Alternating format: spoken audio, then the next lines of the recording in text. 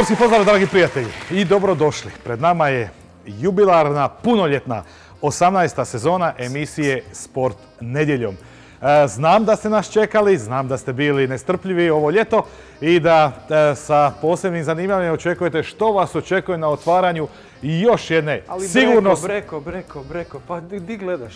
Gledaš tamo, ovo, pa ti uopće znaš koja je tvoja kamera? Šta radiš? Šta radiš ti? ovdje? Pa počinješ Daj, emisiju bez Ajde, ajde, jel moj? Koja je? ovo? Pa, jel- Koja je ovo emisija? Ne znam koja je emisija, ali zašto sad, šta, šta, šta sad ti tu? Stan tamo iza kamere, šta, šta, šta radiš ti? Cijelo ljeto je prošlo, čovjek nije prstom mrdno 11 lijepih repriza, a best offova pustili Čekaj, smo u program. moguće da si ti sad ušao u kadar? Pa Evo, normalno. I sad, šta si ušao u kadar? Pa ja dirigiram emisiju. A što? A čekaj, šta, samo šta- pričaj. čekaj, šta si sad ti ušao ovdje u emisiju? Dobro, ajde, kog ćemo imati danas u emisiji, ajde. Pa vidi ti njega. Producent je Vlado Turković, uglavnom. Ovo je tvoja kamera, tamo. Dobro, u redu, Tamo okej, dobro, u redu. Sad, ovo stvarno nisam planirao da će se dogoditi, ali dobro, ali zato i jesam voditelj, uvijek sam spreman za sve izazove. Ehm, imamo sjajnu studijsku temu, na početku programske sezone otvaramo s nogometom. Ilija Lončarević, ma nećemo, vidjet ćete vrlo brzo head, reći mu samo Aco Petrović. Ja još ne mogu vjerovati da, da ste ušao ovdje. Ajde, najavimo na head i ajde, ajde tamo iza kamere, daj A da ne, krenemo. ne, ne, ne, ne, ne, ne. 18. sezona emisije Sporta. Nije 18. sezona, opet krivo pričaš. 18. godina. Dobro, Godina. dobro, u redu. Jel možeš odmah krenuti tamo prema, idi tamo iza. ljudi, Uglavnom, evo, ajde, Vlada Turković. Head i idemo sa glavnom temom. Uglavnom, ova sezona bit će najjača sezona. Kažu kad napraviš prvih pet, dobar si. Deset, jak si. 15 godina emisije, uf. A mi smo punoljetni.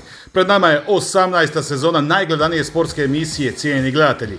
O prošlosti nema smisla, samo napred i nove pobjede. A obećavamo, bit ćemo još jači, jasniji, intrigantniji, mudriji. Zbog vas koji nam nesebično poklanjate pažnju zadnjih 18 godina.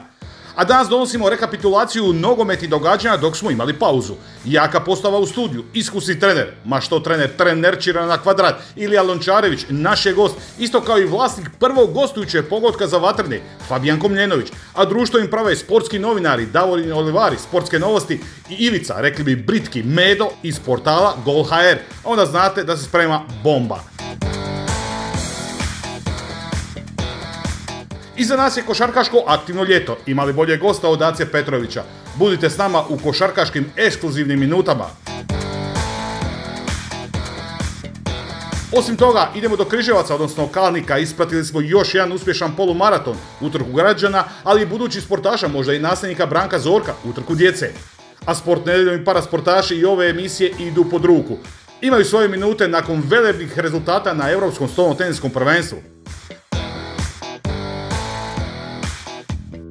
Pričamo o rukometu, startala je Liga prvaka, Zagreb ugostio Kil i bio stvarno gostoljubiv domaćin. Što možemo očekivati od našeg prvaka u sezoni koja slijedi? A Domagoj Duvnjak za naše kamere otkriva...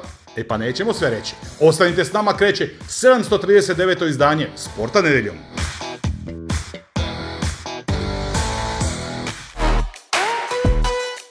Yeah. Srdačan pozdrav, dragi prijatelji. Evo nas nazad na otvaranju 18. sezone Sporta nedeljom i odmah pokušavamo da to bude stvarno u top izdanju. Sjajna studijska postava. E, Već je jedan dio prvenstva iza nas i to je poprilični dio. Možemo dati neke ocjene. Reprezentativna priča iza nas. E, Sve ono što nas očekuje veseli nas kad je hrvatski nogomet u pitanju.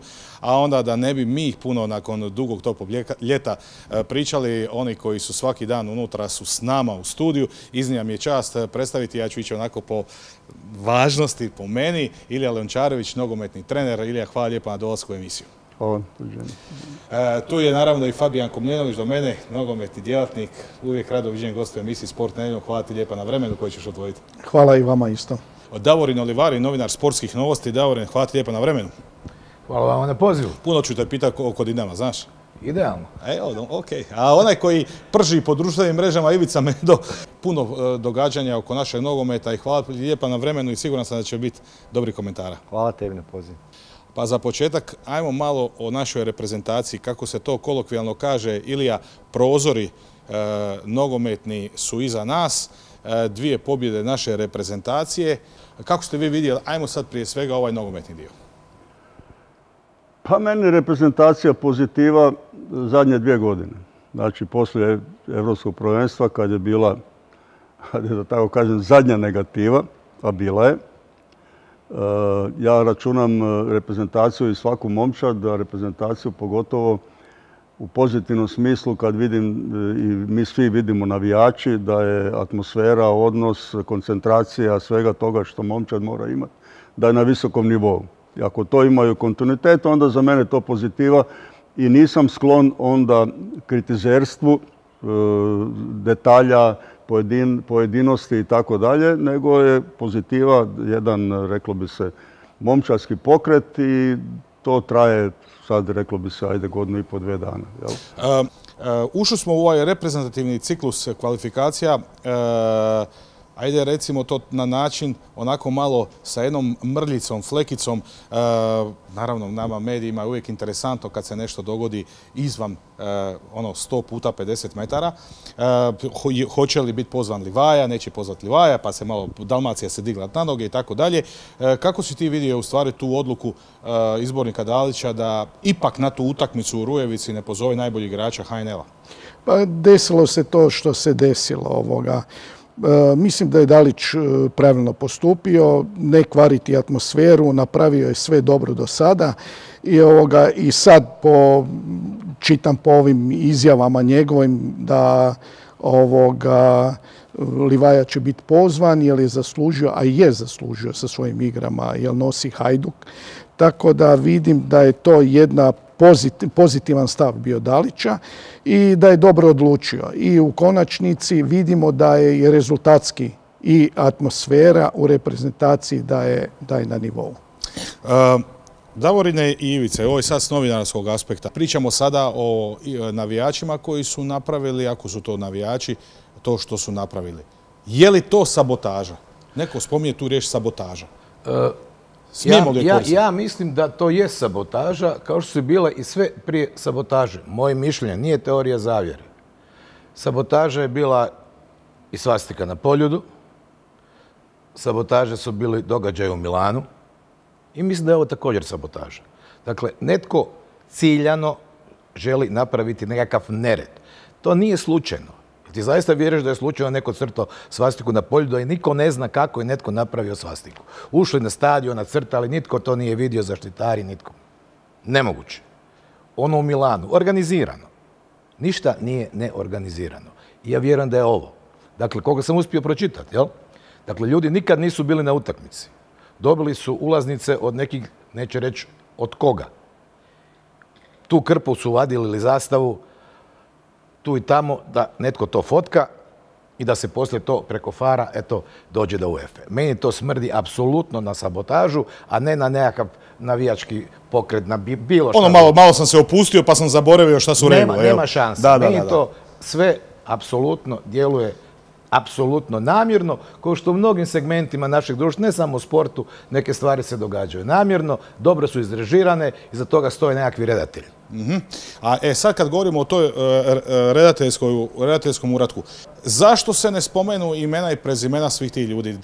Nemoguće da u jednoj civiliziranoj zemlji koja ima policiju, tajne službe, e, vojnu, obavještajnu službu, sve moguće službe, znači da ne može riješiti ko je, ko je svastiku na, terenu.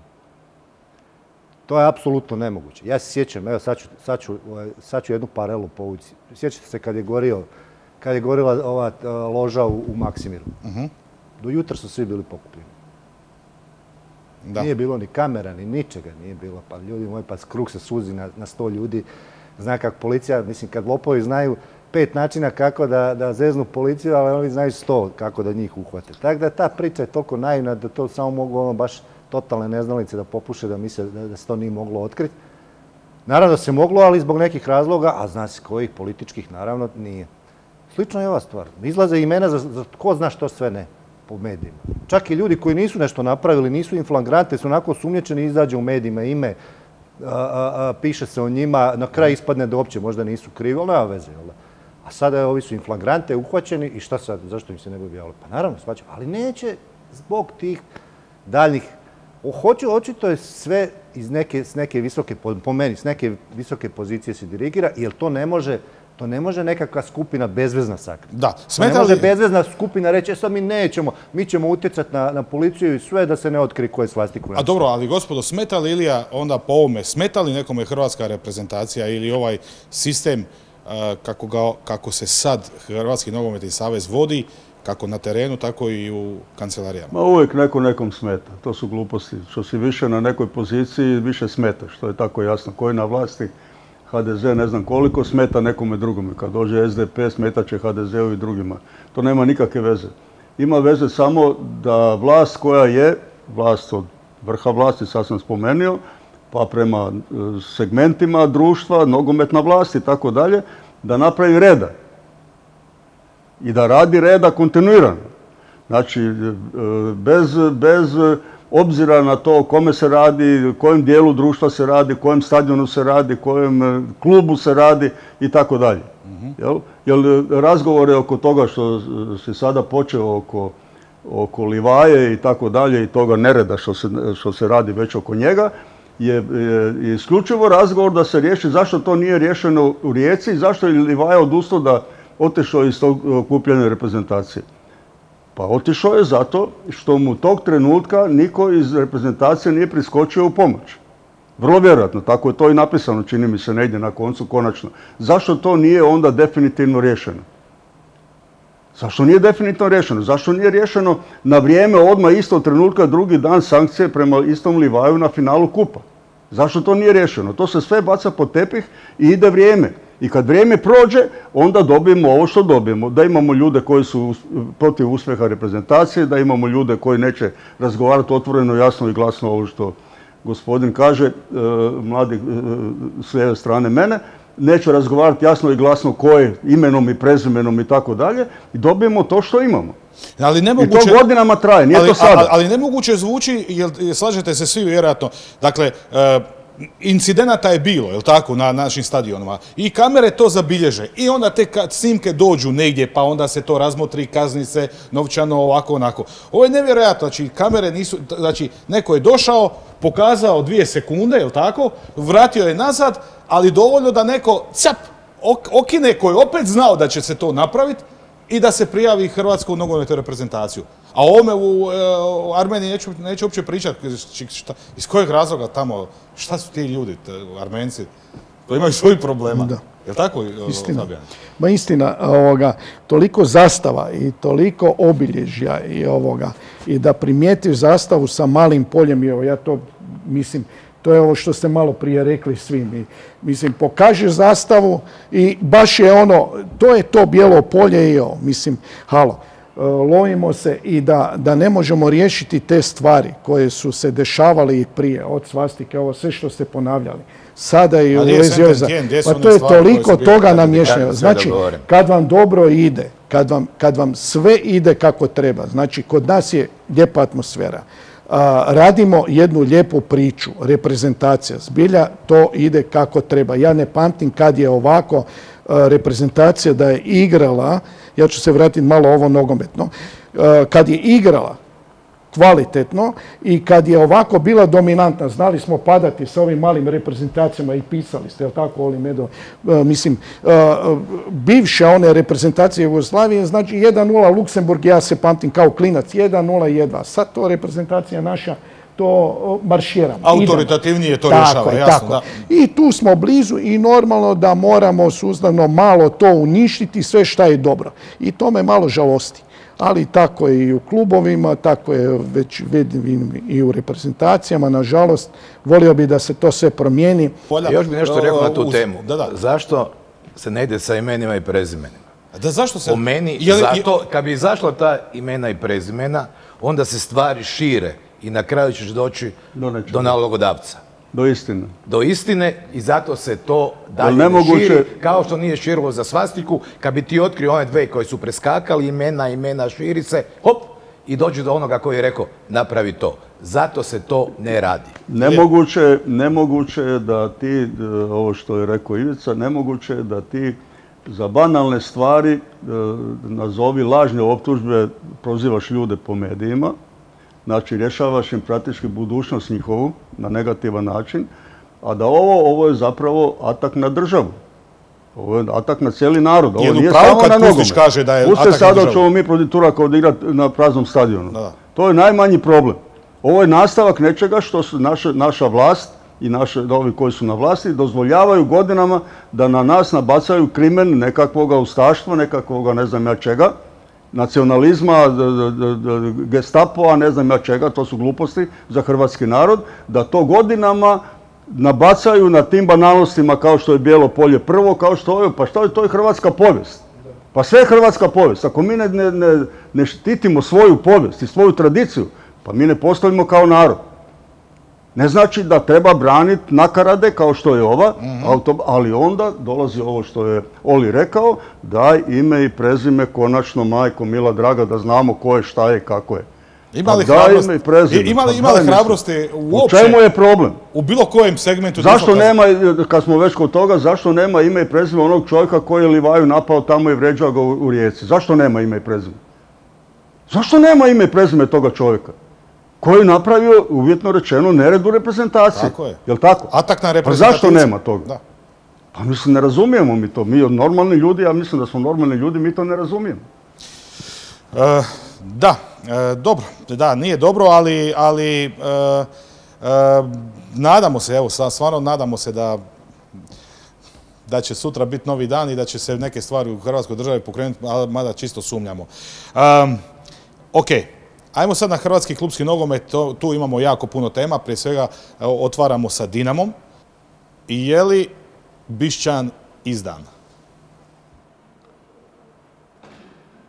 Moglo bi se tako reći, moglo bi se tako reći, ali možda je izdan od, od najbližeg, pa rekao bi suradnika ili prijatelja, možda i tako, ali sa više stance vjerojatno. Vjerojatno, s tim što se prvi on nije snašao dobro u toj situaciji, a niti Šimić posebno.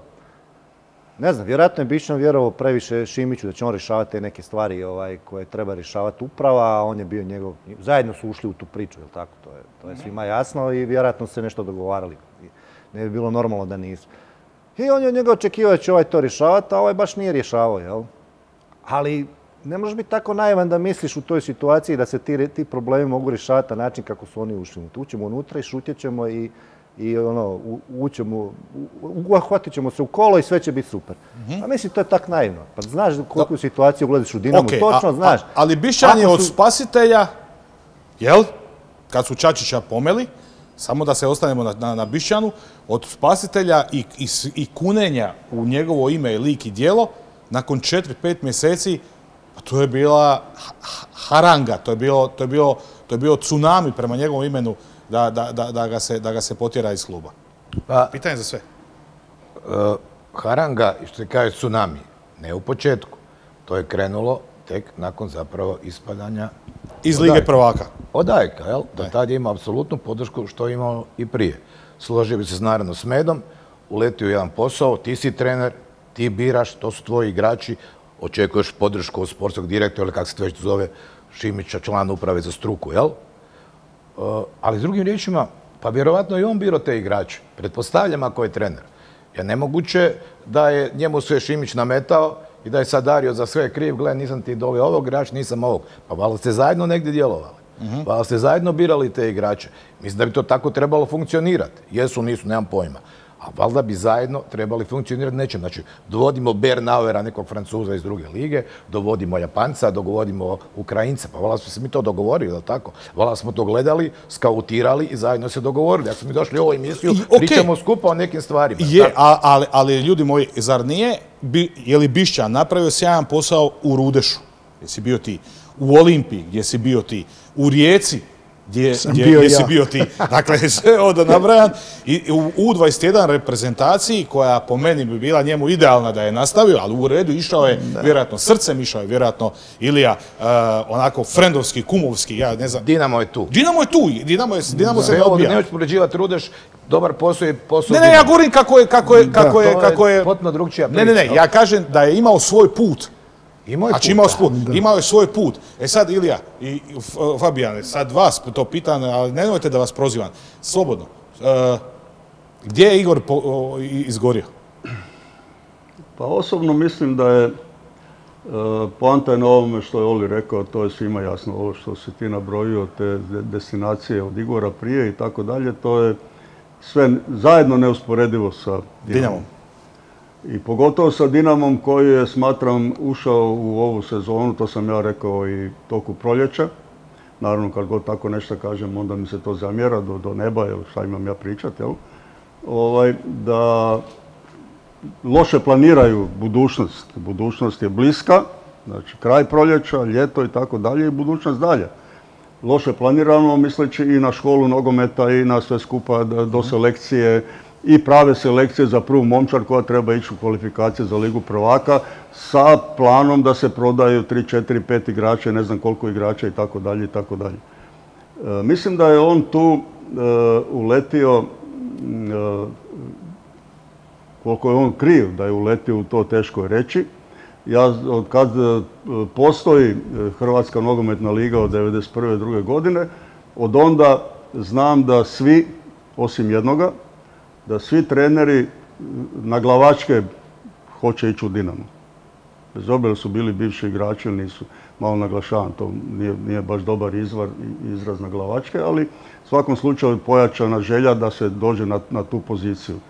No, da bi došao to, a ima previše iskustva iz prošlosti, jel, Igor bio igrač Dinama, je prošao je dosta toga, i trenere, i uprave, i predsjednike i tako dalje, iako je kao mlad otišao već, ali rano je ušao u momča Dinama, mora imati iskustva da zna da se mora okružiti sa ljudima i mora imati na raspolaganju ljude koji znaju posao. Mhm. To je ono kada se okreneš na klupi da baciš pogled na mora, Od, od toga, od, normalno svoga stručnog štaba, to neću komentirati, to on zna, do, do ovako kao što je Dario koji mu je trebao biti apsolutno desna ruka, jel? jel? Koliko smo mi svi sa strane upoznati sa tim, Dario nije dobio tu poziciju u Dinamu, zašto je on uopće otišao onda u Dinamo ako nije dobio tu poziciju, jel, i tako dalje.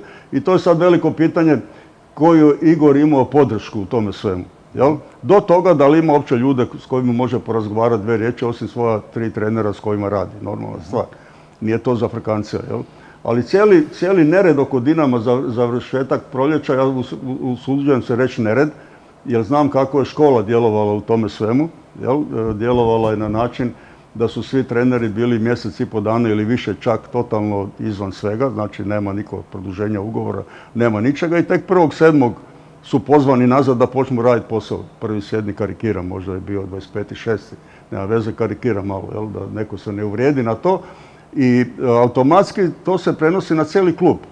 Dalje, što trener u Dinamo uvijek ima, apsolutno uvijek ima, to su svi treneri prije njega. Svako ljeto je problem transfera, odugovlačenja transfera radi toga da se kvalifikacije prođu, ove ili one svejedno, uglavnom Liga prvaka, jel, tako dalje. E, sve to skupa treneru e, donosi nemir, odnosno nema mirnoću rada, stvaranja momčadi za jesen i tako dalje. Ja stvaram momčad da prvo kolo kvalifikacija idem, i da ja sad te kvalifikacije moram izgurati. Jel? Otud i nesigurne igre momčadi Dinama, ne sad kod Igora, manje više čak i manje, nego kod prošlih trenera. U ljeto su uvijek igre koje su na granici velike kritika. Jel? Mhm. Kako to Dinamo igra, kako ovo i kako ono. E, tako da on je, on je naletio na strašno puno problema koji su zaključno e, e, vjerojatno kulminirali sa tom odgodom utakmice sa Ajekom, pa ovim, sa onim i tako dalje. Jedna pojačana nervoza sa odlaskom igrača, neodlaskom igrača, ovaj će ostati još utakmice, ovaj neće ostati i tako dalje vjerojatno se on malo tu u tome svemu pogubio, a nije imao pomoći. rekli smo da, da Igor, kako sam dobro shvatio, nije baš imao nekakav roster, e, spominjao se neke igrači iz Francuske i tako dalje. Kako sad na jedan put sve može? Pa, pa malo Ademi, pa malo za produženje Petkovića, pa... Pa e, meni, je, meni je prvo neshvatljivo ovoga da Dinamo je ovoga u kvalifikacijama za Ligu prvaka i sad prodaješ tri, četiri, pet igrača po novinama. Izlazi, prodajemo Ivanušica, prodajemo Livakovića, prodajemo... Pa to je drugačija atmosfera u slačionici, tako se To je već jedan drugi nivo. Već je to pomalo jedan stres. Od igrača do igrača, uho do uho, to ide i kruži jedna priča. I to je odmah jedna negativa. Znači, Po meni bi logički bilo da se napravilo ulazak, nema prodaje do Lige prvaka, pa ima vremena. I onda ugovori se zaključe lako. I Dogovori se. Mi nije bilo jasno, igraš jednu utakmicu, Pa igraš, ne igraš, ulaziš, pa to je takav šlus. I, ovoga, I napravi se ovo što se napravi.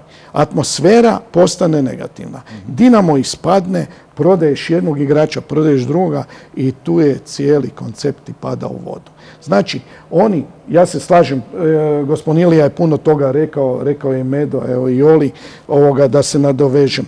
Ovoga, e, nije bila sinhronizirano između Darija i Igora tu mora biti jedan, jedan balans. Škola. Škola nije bila, škola nije radila do 15.6. nije se znalo ko će biti trener juniora, ko će biti trener kadeta. Mislim, ko je direktor e, škole? Mislim, Dinamo koji je sustav, ja sam 15 godina radio u Dinamo.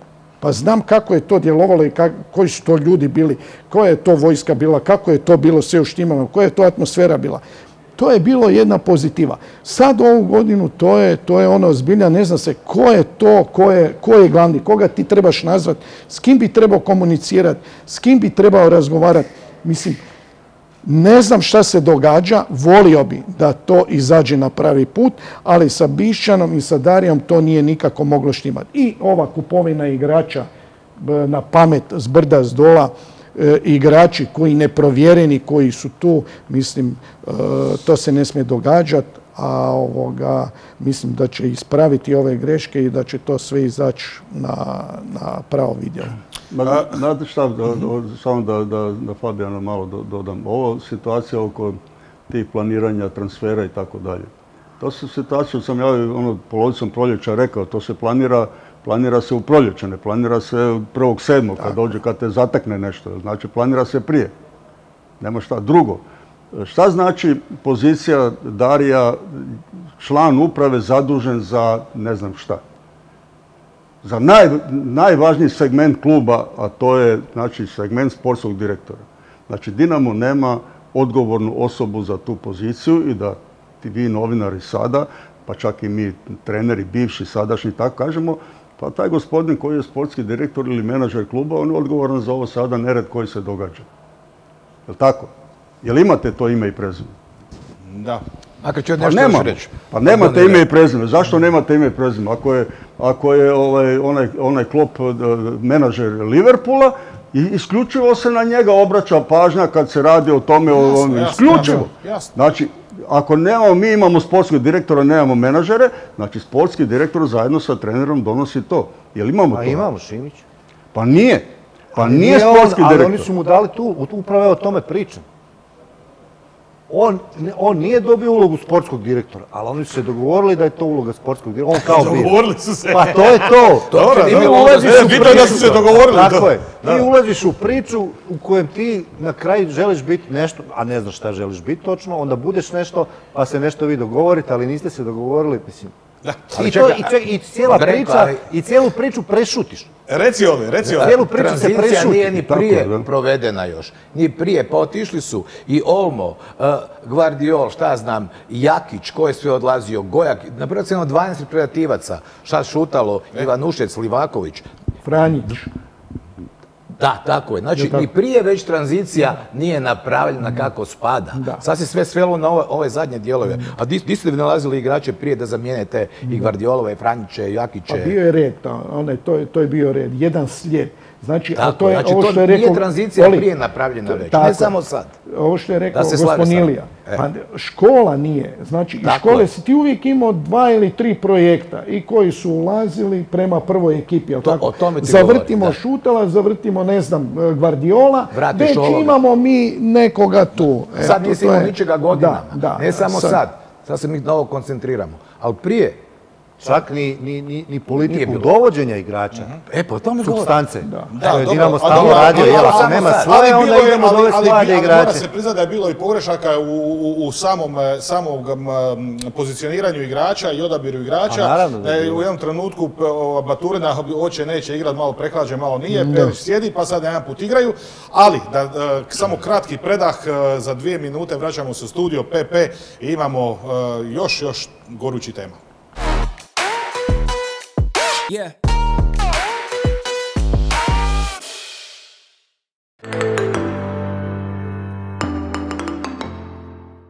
Mislio si da će te talent napustiti kada sve ovisi o tebi? Zašto stati kada u rezervaru još uvijek ima goriva? Zašto odustati kada možeš prihvatiti izazov?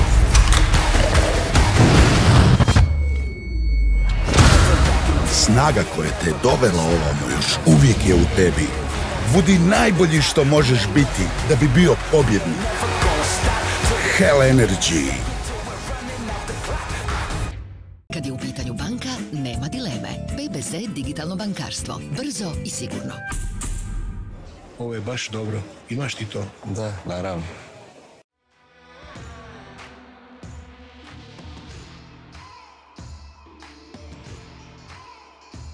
Plemenit, zlato i srebro. Onda skreneš lijevo, uzmi veće pakiranje, druga polica s desne strane. A jesam. Super će ići uz kavu. Uzela si kavu za mamu? I ono najvažnije. Iskoristite sakupljene bodove i uživajte u posebnim pogodnostima KTC kluba vjernosti. Ako ste se odlučili za nove trendove, svoje povjerenje dajte tvrtki Jerkić Bazeni. Zastupnici su vrhunskih francuskih proizvođača bazena Dejayo. Bazeni više nisu luksus, oni su postali neizostavan sadržaj. 30 godina tradicije i brojni iznimni projekti iza nas. Govore sve. Beton Lučko. Gradimo s vama i za vas. Želiš li studirati na studiju koji je prilagođen tebi? Studiju na kojem je praksa važnija od teorije. Kuhati s najboljim šefovima. Programirati od prvog dana. Onda je Aspira pravi izbor za tebe. Studiraj srcem. Aspira. Sinergija igre, emocije, usluge i dizajna. To su Rebuy Stars Zagreb i Varaždin. Najveći automat klubovi u Hrvatskoj. Skelin Monti Šibenika vodeća je tvrtka u proizvodnji i ugradnji PVC i alu stolarije, kao i staklarskih proizvoda. Višegodišnjom garancijom kvalitete Skelin Mont stekao je povjerenje kupaca te brojnih poslovnih partnera. Kontaktirajte nas ili posjetite naše izložbene salone u Šibeniku, Vodicama i Splitu. Skelin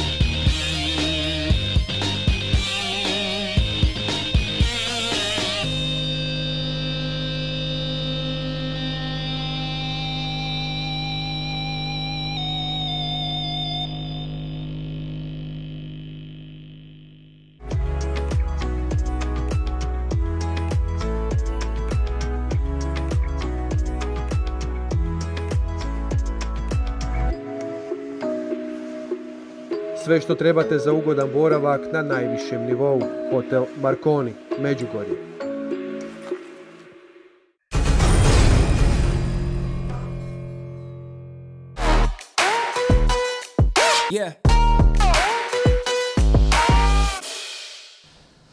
Evo nas sad u programu se Sporta nedeljom, 18. sezona. Najgledanije sportske emisije Sport nedeljom, Ilija Lončarević, eh, Fabijan Komljenović i dva sportska novinara, Davorin Olivari i Ivica Medo. Uh, Jakirović, možda samo rečenica, kako, način na koji je došao, je li to se inače tako radi? U Dinamu su radilo nas, uvijek se tako radi. biznis, Smjenjivali se biznis, treneri, da. dovodili, ali sad... Ali sad, da, je, on, ovaj ali sad je on spomenuo i Miškovića kako, kako mu je rekao nema problema, idi pa onda... Pa naravno, Je li pa to to- scena to je bila? to, Je- biznis. Ne, ne, je li, je li to Pa igrokaz teški čovjek. I onaj njegov ulazak. Teški igrokaz. Pa ja mislim da se nema cijela razloga ne klima. vjerovati tako kaže javno. Jasno. Znači, nego, ne- to niko nije demantirao poslije, jel tako? Koliko se Da, da, da, ne, ne. Čovjek je javno rekao, to će Znači, tako Miško zna Da. Miško, da. Mi smo somovi koji trebamo zagriti. Kao na jugu sad malo sa navijačima. A imaš, a imaš u ugovoru... Uostalom, tko potpisuje ugovor sa trenerom koji ti može otići kad hoće? Da, imaš, imaš u ugovoru klauzulu, znači to i to, neću ulaziti sad u cifre, znamo svi koje su, da možeš otići ovo, i sad praviš se da ne, da ne znam ili idem, sjedit ću sa armadom. Mislim, di je ono... Ono, to, je, to je ovo pitanje e, što je e, načeto, je pitanje svakog čovjeka posebno. Znači, zadire u nekakvu moralnu sferu koja u današnjem društvu praktički je marginalizirana i ne znam da li postoji više. Ima trenera koji su pozvani u tom trenutku da dođu negdje, jel? bilo Dinamo, bila Rijeka, pa su rekli, oprostite, javite se mom sposobnom direktoru na razgovor, pa ja imam ugovor, ja ne mogu tako ostaviti klub i tako dalje. Ima trenera koji su skočili i odmah to riješili. Jel? Tako da ne, mogu zamjeriti ja osobno, ne mogu zamjeriti nikome, svako vodi svoj život i ja im želim samo sreću, jer dobri su treneri svi, pa nadam se da će imati i uspjeha u tom svemu. Da, bilo je sad Ilija, ovo kad kod- dobiš Dinama, koliko ti moraš puno razmišljati o tome i zvati svog sportskog direktora? Možda nisi po adresu dobro pitao, Ilija. Ti si još, ti si još mlad. Ti si zvao svog sportskog direktora. Ti si, Ti si još mlad. Oli, ti si još mlad. ali dobro, bilo je, ali, ali ovih e, zoom-zoom kombinacija prelazaka trenera bilo je do- dosta zanimljivo bilo ovaj, u ovom prelaznom roku, ali moje pitanje je, vjerojatno i gledatelje, pogotovo navijači Dinama, za sve vas, ko vodi Dinamo u ovom trenutku? Ja, vodi ga Mirko Barišić, po meni, evo, ja nema, on će reći da to nije istina, sa laganim suportom iz Međugorja. I upravo ova situacija cijela po meni, ja sam to pisao i govorim, i, i ova, promijenila se klima od prošle skupštine, pa tamo negdje kod petog mjeseca, već kad je Barišić odbio onu da sazove skupštinu, sve je bilo jasno. Izašli su onda neka imena ko bi htio biti, želio biti predsjednik Dinama, to je bio jasan znak da Barišić se okreće od te priče, vidi komu je opasniji neprijatelj, tralala, pa napad na a, Flatku Peras, a zapravo na Barišića se cilja, to je jasna stvar, jer on je zašto, ko je svi u Dinamu, to, to je svima jasno. I onda imate sve što imate. Gle čuda, dolaze sve ljudi koji su bili povezani sa Zdravkom Mamićem najčvršće i koje je on htio dovesti u Dinamo. Gle čuda, dolazi i Ademi sad, kakva slučajnost, jel da? Same slučajnosti se događaju. I onda se saziva skupština. E sad, E sad, e sad saziva je čovjek skupštinu koji nije htio sazvati skupštinu između, između, dva, između dva ogleda sa, sa Hajdukom, ali sad je saziva i siguran je da ima većinu.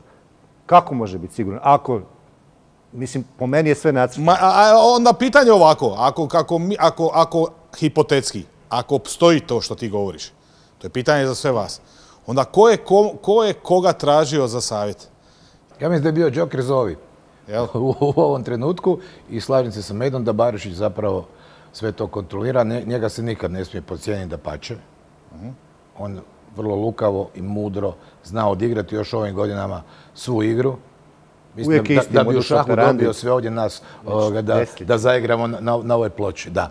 Prema tome, e, ali sad, naravno, nikad nemojte podcijeniti događaje na skupštini. Tamo se sve može, Barišić vjerojatno siguran da će biti kvorum i da će imati dovoljan broj ruku. Ali, sve se može promijeniti preko noći. Da. To se slaže. Da, to se Sve slaže. se može on, on misli da ima i neka ruke može otići tamo, neka da li- ruka da li može će otići imat, tu. to ćemo vidjeti. Neko A- može zatražiti njegovu smjenu u krajnjem slučaju na toj skupštini. A, ali mi je, Da. ali vrlo znakovito mi je, ja neću spominjati imena, ali je izašla slika na društvenoj mreži e, jednog člana, ajde recimo to tako, čovjeka koji je sad u ovoj e, radnoj, radnoj skupini za izra- izradu statuta, jel? E, i kao ispred grada i e, gospodina Antolića. Gdje, je- gdje je gospodin Antolić u toj cijeloj priči? U ovoj priči će neko morati ispasti iz kola. Jer nema mjesta u izvršnom odboru i nadzornom odboru za sve. Po meni je ovo široko pojasna koalicija kako je uvijek Barišić radio. Uvijek. On se izdigne iznad ostalih, onda pusti ove malo da se išamaraju međusobno i onda se pristupi pregovorima, pogotovo ova starija struja njegovog godište ljudi koji, ili tu negdje s kojima on već desetljećima surađuje na ovaj ili onaj način. I sad ide široka pojasna po- koalicija koju ćemo vidjeti ko će iz te priče gdje su oni bili u jednom trenutku u sukobu, jer to znamo, to je, pa evo, rekao je Pa dobro, jel- negdje smo vidjeli jel u medijima, da recimo- kaže Bismarck je, samo je interes vječan. Samo je, E, apsolutno. Vidim da se tog Bismarcka se... iz te rečenice- Čest- ali onaj koji je bio, Sve- na, ali onaj koji je bio na skupštini u trećem mjesecu... Ne, ne, onaj koji je bio na skupštini u trećem mjesecu. Sad, je li moguće da jedan Ognjen Naglić koji je udarao Kako ne? ko, Kako e, ne? to, maksim po divizijama, ratatatatatatatata, Čekaj, ali bi i je isto li- tako- uključujući i Zdravka Mamića, recimo, pa znači Ali isto tako i ljude. bio za njega. I svi ti koji su tamo pa su... I jel bi sad misliš da bi ponovo mogao? za- Bi- za ne bi mogli, pa mogli bi šest puta. Ma ne bi. Ma nema te. Cijeli, A, ne, ne bi. Dobro, dobro, Pa ne, ne bi to se A događalo. najbitnije će ti biti ko će biti u izvršnom odboru. Jer taj izvršni odbor bira i upravu, jel? Znači, Dobro, gdje su tu navijači? naj- Gdje su tu navijači? Gdje su navijači? A navijače ne pitaju. Navijači shvaćaju polako. Na- Prvi dan, drugi dan skupštine, rekao sam, naslovni teksta ide, prevešće vas žedne preko vode. Kako, kako reagira? Jedan član, jedan glas, Da. nestao, no- nestao u Savi, odnela ga, ne znam di je, Ne, ko- otišao je već u Crnom moru. ko talični tom U otišao, Crnom moru je negdje. Član je ostao glas i otišao. Znači, član je ostao glasio. Zna stara priča iz, iz, top liste nedralista, napravite mi komisiju. E, sad će biti zanimljivo, ako se zaista na skupštini ti navijači isključe iz bilo koje priče, o čemu se jel, govori, špekulira, kako će se u tom trenutku ponašati tribine i to je velika opasnost za Dinamo. Ako se vrati sve ono prije, počeli smo sa reprezentacijom, jel, na tu temu, jel? Opet sa tribine vrijeđanja, negativna atmosfera, katastrofalna atmosfera. Što onda? I tu Ništa, Hajduk će biti prvak. I tu Barišić mora vrlo pametno razmisliti o, čemu, će se, će Čekaj, ako, ako, se, ako se dogodi taj Rašomon ili se nastavi ovako ova, ova, ova nesinhroniziranost ovaj, u, u Maksimirskoj, Hajduk eh, lagano može ona osvojiti Znači prvenstvo. možemo očekivati na, na sjeveru među Bad Blue Boysima zastavu neko sa nekakvim ovim. Dobro, ne, ne, ne prizivamo, ali ja ovo, ovo kroz ovu šalu, ovo je moje sad pitanje. Je li ima Hajduk onda ove godine šansu? Pa Hajduk ima veliku šansu, jer u Dinamu vidjet ćemo poslije skupštine, vidjet ćemo poslije svih ovih događanja Jakirević da li će to uspjeti posložiti. Vidim poslije ove utakmice Lige prvaka, mislim, to je fijasko i ne piše se i četrijan izgubiš, e, zaboravi se sve brzo, znam. Došao si na, trebaš pokrenuti, trebaš složiti nešto i desi se to da ispadneš, igraš konferencijsku ligu, u zadnjoj ligi si, jel tako, di si trebao biti Liga prvaka i Liga UEFA. Pao si iz prvog I u treći razred. Prvog u treći da, razred. Da, Pa da, mogao- si. pa zašto onda Biša nije istrpilo? Pa i ovo je onako bio treći razred. tako je. A druga stvar... Potrošio si mladog čovjeka. Mislim, kad gledam logično, prosto Da, da, pa da. A Ovoga, I normalno da Hajduk ima šanse, velike šanse. Oni imaju atmosferu, imaju slaganje, malo ih je poljuljalo ovo u Istri, Istra sad, e, gostovanje Istre, poraz, ali ovoga, ako se budu stvari događale ove koje se događaju u Dinamu, znači e, ne znaš ko vodi, ko je tu, ko je prisutan, kome se obratiti, normalno da Hajduk ima ovu godinu veliku, veliku šansu za osvajanje prvoga mjesta. E, ovo ljeto proveo sam dosta dolu u Dalmaciji, ali jednu večer, neću ime spominjati, razgovarao sam čovjekom koji jest sad u Hajduku i sad, ajde recimo e, sublimiranje. E, Leko ima jedan svoj specifičan nastup na treninzima, nekim igračima se malo to ne sviđa, e, možda neki u upravi puno igrača iz nekog frankofonskog govornog područja i tako dalje, ali je vrlo znakovita rečenica bila u kojoj je kazao Livaja kad osjeti da je nervozan, a, nervozan je, nervozan je za ono što smatra da mu fali koji igrač, pogotovo sad na toj krilnoj poziciji, ovaj, ne iskaljuje se u navodne znakove, ne pokazuje to na terenu, ali da nakon svakog treninga, ono, svakog uvjetno kazano, odmah jako bušiš telefon, misliš li mi dovesti pojačanja, dakle, ozbiljno se računa Medo i Ilija dole na, da, da bi mogla biti ovog godina. Pa Dobro, situacija je takva da Hajduk je, kako god e, mi možemo omalovažavati pojačanja Hajduka i jačanje momčadi koje je nastupilo od ljeta na, na, na ovamo, e, ipak je to značajno. Jel? I e, računajući na nesigurnost Dinama, što, kako sam i prije rekao, praktički svako ljeto tu ne ide, jel? Hajduk je to sad iskoristio i došao je na poziciju da kreće u, u završnicu ili od polovice jeseni kreće u nešto što već dugo nije bio. jel? I normalno da je to sada jedna e, e, dodatna snaga i zahvaljujući i navijačima koji su reklo bi se možda čak malo i neočekivano, možda i ne toliko neočekivano, e, jednostavno buknuli. Jel? Pun stadion na Svaka svakoj utakmica po je- rasprodan stadion. je nešto što nismo imali već jako dugo u hrvatskom nogometu. Tako da s te strane ne treba ni slučajno ne posjenjivati, nego reći da nema šanse. Ima šanse, apsolutno, ali još uvijek ovisi o Dinamu da li će Dinamo biti na svom, reklo bi se, nivou, zahvaljujući još uvijek, reklo bi se, kvaliteti igrača. Jel? Ako to Dinamo uspije, odnosno trener ako uspije i momčad ako uspije, onda e, Hajduk, e, Hajdukove šanse su manje. Ali mislim da se kao nikad ove godine manje Hajduk Ali što god dalje vrijeme ide, ovako, ovakvim odnosima, znači da dođe tu na board 2 ili 3 ili zna, zna šta, ovisit će o nekoj utakmici u proljeće. Da, jasno. I to je sigurno. Znači, Jasno. ako ovisi o jednoj utakmici, onda može dobiti svako svako. E, Htio, htio bih reći, ne znam da se slažete, u- dosta se svih ovih godina pitalo Dinamo i ono kada je bilo interesantno prvenstvo, prije dvije sezone, jel, ovaj, pitalo se Dinamo, ali nekako mi se čini da ove godine se Dinama pita, ali ne toliko izraženo kao što je bilo prijašnje godina, jer je Hajduk taj koji je puno kvalitetniji, Mogu ti reći nešto, Dinamo je dobio veliku utakmicu u Osijeku. Da je ta bila izgubljena, da je bio toliki veliki razmak u bodovima, bio bi Hajduk još bliže tituli, a pomogao je i sam Dinamo. To jest Višćan koji je odgađao uno- utakmicu s lokomotivom totalno nejasno i dozvolio Hajduku da pobjegne na veći broj bodova. Kad si ti na prvom mjestu, kad tebi drugi stižu, ti si u psihološkoj boljoj situaciji. Tu Hajduk dobiva zamah. I koliko će Hajduk imati bodova prednosti, dok ga Dinamo ne ulovi, tu će biti u prednosti.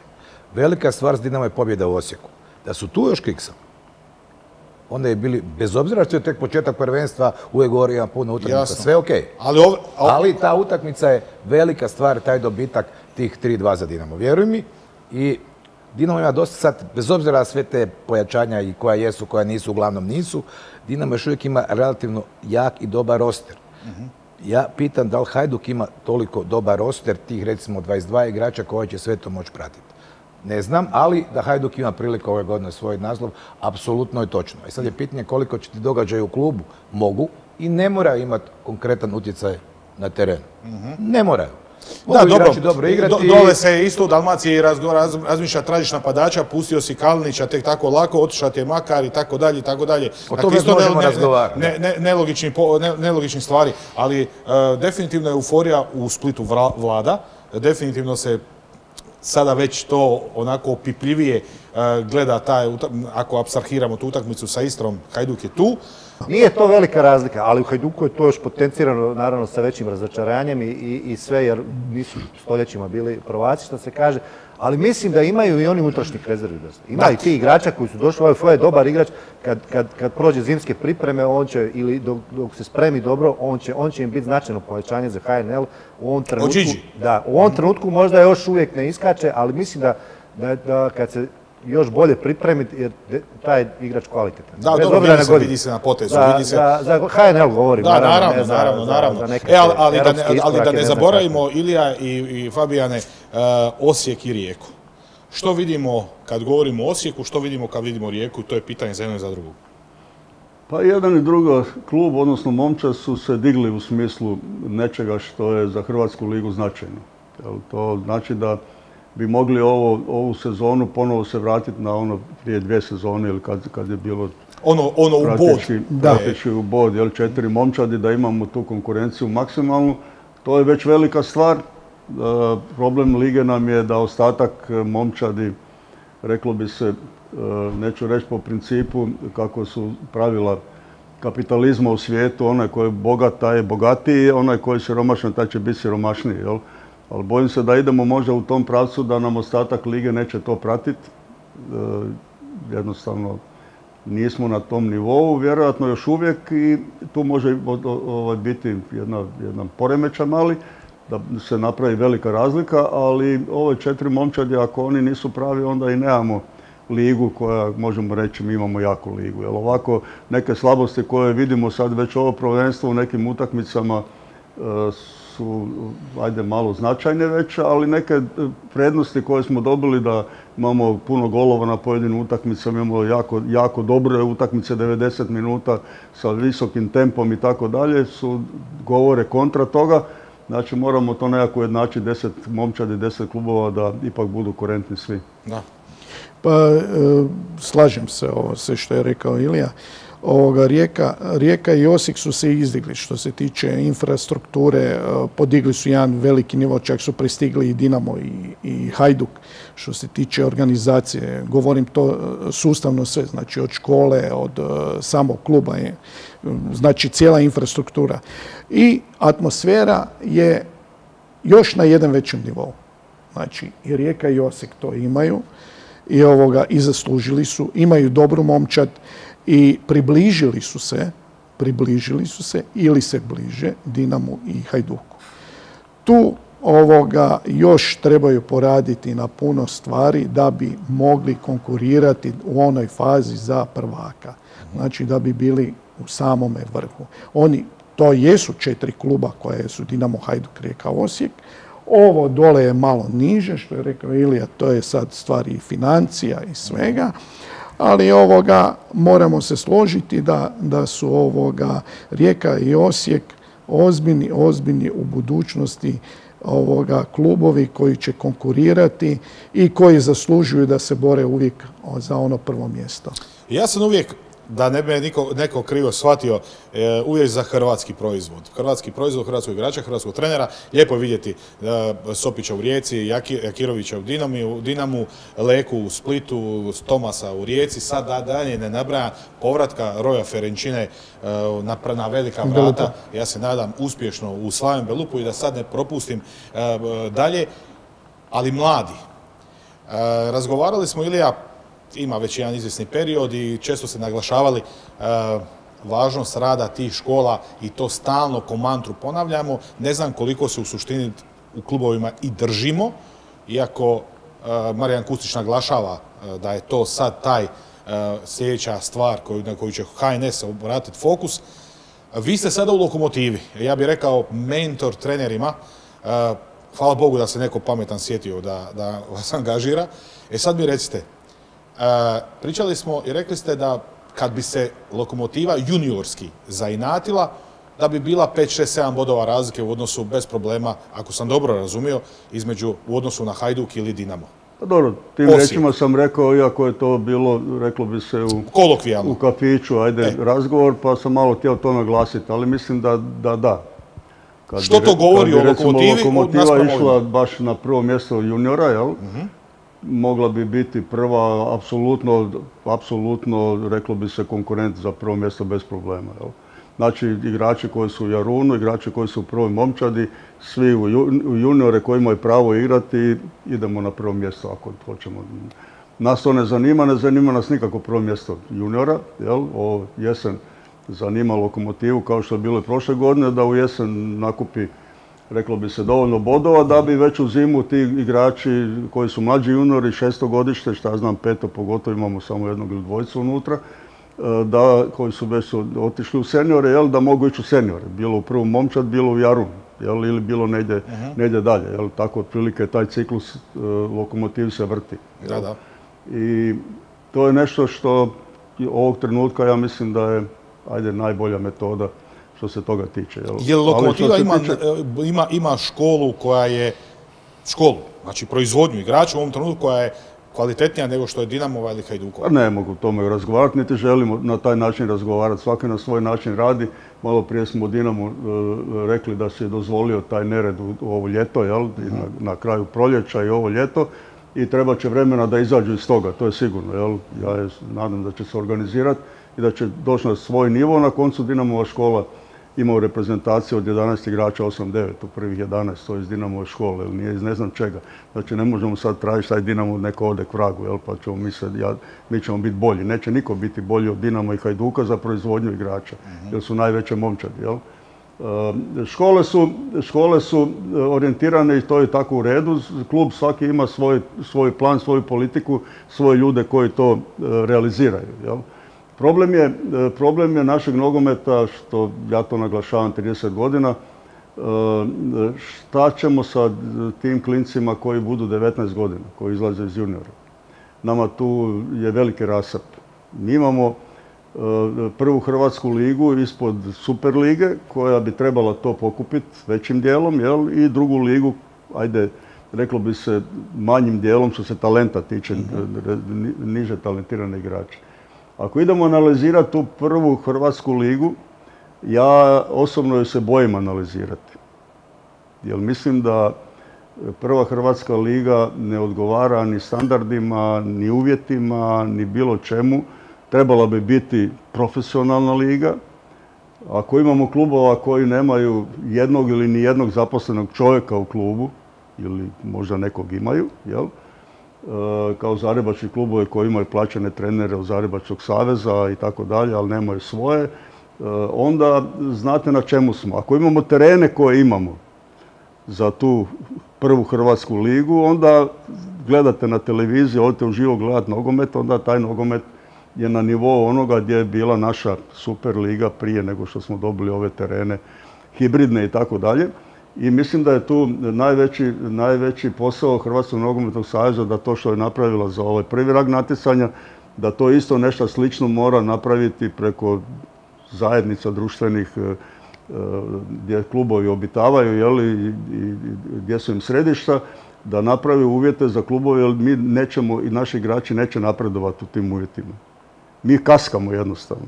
I nama manjkaju igrači reklo bi se da se neko ne naljuti druge klase. Znači ne e, Ivanušeci, ne Majeri. Ne igrači za NBA ligu, nego fali mi za Euro ligu da mogu ne ne nego igrači kojima treba vremena da stasaju da bi igrali i u Dinamu i u Hajduku i da ne govorimo o drugim. Treba im vremena. Mhm. Mi taj sistem za to vrijeme nemamo. To ne postoji kod nas. I to je problem kojim, ajde, ja sam već dosadan sam sebi, neću više ni pričati. Ko je to rekao? Ja sam rekao. Pa malo bi se vratio za, na, na Rijeku i Osijek, nismo ništa ovaj, dodali. Mislim da Rijeka ima strašno potentnu ekipu koja će samo rast do, do, do, do zime, pa i, na, kad prođeš zimske pripreme i, kasnije.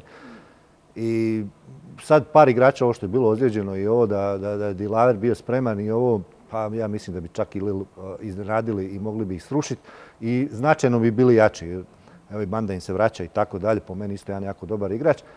Ima strašno, strašno potentnu ekipu, ovi igrači su tek počeli, to Mali Ivanović ima desetak utakmica u nogama, a već pokazuje, to je deset utakmica samo. Možemo samo prepostaviti kakav će biti na proljeće i on i Pašalić i, Dobro Janković je iskusniji s te strane, Fruk dolazi, taj kvartet i kompletna ta ekipa, ja mislim da se oni sa Sopom kao energičnim trenerom koji, koji je ono ambiciozan, energičan, hrabar, da bi se oni mogli uplesti samo tako u borbu za naslov, ovako malo hrabro govorim, naravno da su Hajduk, Dinamo i Hajduk najveći favoriti. Da, a što se tiče Osijeka, isto ne treba im puno možda. Možda jedan, dva igrača da dovedu za našu ligu da se oni uhvate u koštaci. I evo sad smo vidjeli s Dinamom.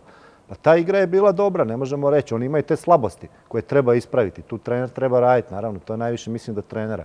Ali ima i tog malog Bukvića koji je strašan potencijal po meni. Taj, taj igrač taj igrač u HNL, ovo što Livaja radi ovaj, za Hajduk, on to mora raditi za, za, za Osijek do kraja sezone i već ove sezone. E, gospodo, evo ga, prošli smo, e, veselimo se nastavku prvenstva i nekako miriše nam ne na titulu i fritulu, nego na onakvu uzbudljivost kao što je Uzbudljivost, da. S te strane, taj, ovaj drugi dio lige neće biti uzbudljiv, ali ovaj prvi bi mogao biti strašno uzbudljiv. Što uvijek važnije. Hvala lijepa na dolazku u emisiju.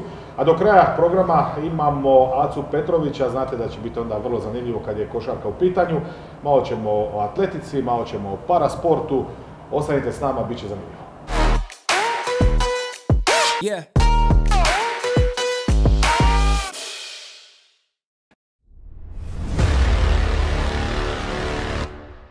Mislio si da te snaga koja te dovela ovamo napustila?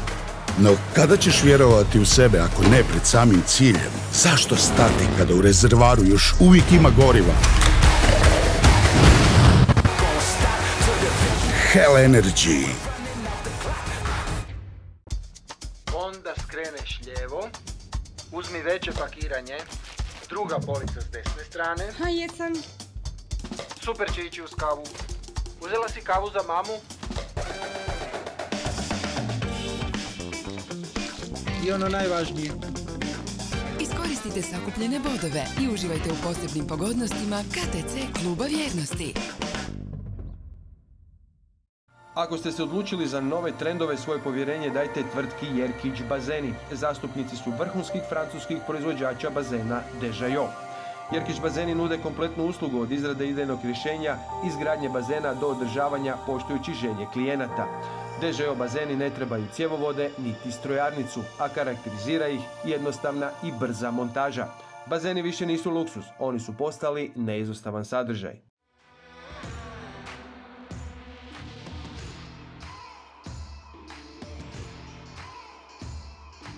Plemenit.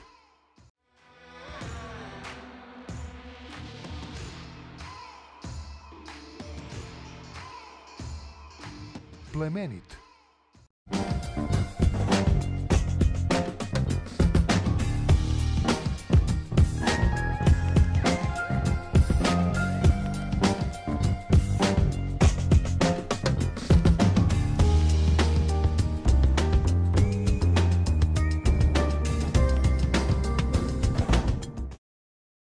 Trideset godina tradicije i brojni iznimni projekti iza nas govore sve. Beton Lučko. Gradimo s vama i za vas. Kad je u pitanju banka, nema dileme. PBZ digitalno bankarstvo. Brzo i sigurno. Ovo je baš dobro. Imaš ti to? Da, naravno.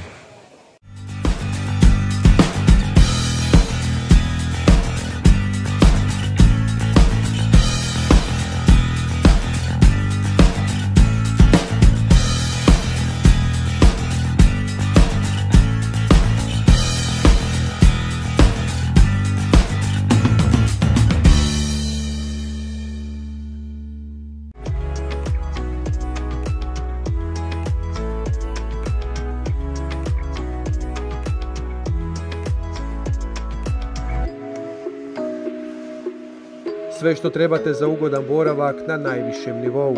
Hotel Marconi, Međugorje.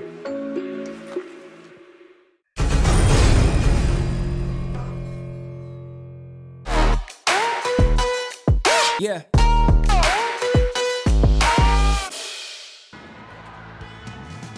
Rukometaši Zagreba upisali su poraz u prvom kolu skupine A Lige prvaka. Bolje je bio njemački Kiel rezultatom 30 naprema 23. Susret je praktički bio odlučen već nakon 10 minuta kada su gosti poveli s plus 6. Zagrebaši su izgledali prilično loše, kao i obrani tako i u napadu. U ostalom, trener Slavko Goluža je priznao kako su se pripremali za tu njihovu ludu tranziciju, međutim nisu uspjeli. Da kažemo da je bilo dobro da drugo poluvrijeme smo imali možda odmah na početku minus 9 ili minus 10 u jednom trenutku i 5-6 minuta do kraja smo to spustili na 5. Malo se publika digla je taj taj dio smo ovaj, iskoristili jeli, da je Kil malo izrotirao, da je Kil malo povukao ručnu.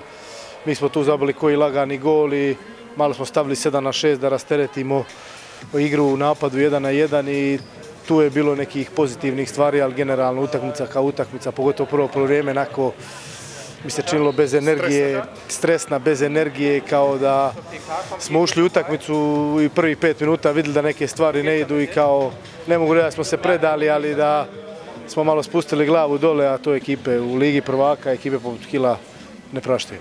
U drugom poluvremenu gledali smo puno bolji Zagreb. U jednom trenutku je prva Hrvatska imao napad za smanjenje na samo minus 4. Probali su obranama 6-0 pa 5-1 napraviti preokret, no kada se napravio niz od 5-6 tehničkih pogrešaka, onda tu više nije bilo spasa. Mislim da je bila jedna dobra utakmica, posebno sa naše strane. Ušli smo e, onako oprezno u utakmicu. mi smo dva, došli ovdje sa dva poraza. Znali smo da Zagreb ima dobru iskusnu ekipu koja je već zajedno dosta e, dugo. Nažalost, e, po njih, na sreću po nas, mislim da je u prvom polovremenu utakmica bila odlučena. Tomaš je bio fenomenal na golu, naša obrana je funkcionirala, polu kontra kontra, ono što, što nas krasi. Raspored Zagrebu baš ne ide na ruku, u sljedećem kolu već idu Paris Saint-Germainu, a onda u arenu dolazi norveški Kolštad predvođen Sagosenom. Zagreb ove sezone ja mislim da nam treba biti drugo polovrijeme vodilja. Stvarno, ovaj, drugo polovrijeme smo odigrali onako kako treba i obrani u napadu. Mislim drugačije, jeli, kak Kiel vodi 7-8, pa malo su, možemo reći, malo su i i stali, ali ovaj, opet stvarno u drugom polovremenu imali smo finih akcija, imali smo finih obrana i golmana i naše obrane i, I kažem, ponavljam, to nam treba biti vodilja za dalje. Ima li prostora? E, praktički ste, koliko sam shvatio, odigrali sad u, u sastavu kakvom e, bi trebali izgledati zbog razno raznih razloga. Kad se to nekako posloži, to mora izgledati bolje. Pa mora, evo, mislim, ja i sam sam nakon ozljede, nakon dva, tri mjeseca počeo tek igra prva mi utakmica i Klarica koji se vratio nakon monokloze. Mi smo bili ta dva prva beka koja su igrala zadnju sezonu dvije, tako mislim da je i to bio problem, ali ne trebamo se vadi na to, mi smo ušli nervozno s glupostima, greškama i ekipa poput Kila s takvim vratarom To rješava. to rješava bez problema i mislim da je teško se vratiti pred takve ekipe u utakmici. E, ništa, pratimo vas dalje i pametnije i mudrije sljedeće utakmice. Hvala puno, pozdrav.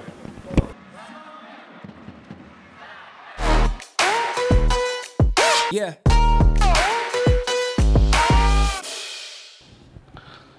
Kako smo u dobrom raspoloženju, e, govoriti o košarci s Acom Petrovićem uvijek je zanimljivo, pogotovo kada imate materijala, to je svjetska smotra, ali malo naravno i onome najdražem njegovom klubu, to je Cibon. Aco, lijep pozdrav, evo u tvom smo kvartu ovdje. E, Prije svega čestitam na punoljetnosti. punoljetnosti, znam si 18 godina, a? Koliko, ne, e, kako smo ono rekli, producent, da je Luka Modrić imao 20 godina kad je, kad je počima naša emisija, imao 20 godina i pričali smo je li hoće igrati u Zrinskom, evo, hoće li biti razina jednog austrijskog prvoligaša. Sjećam se, sjećam se ovoga vaših početaka i nisam vjerovao da ćete daleko dogurati. Da, i ostarili smo, ali dobro.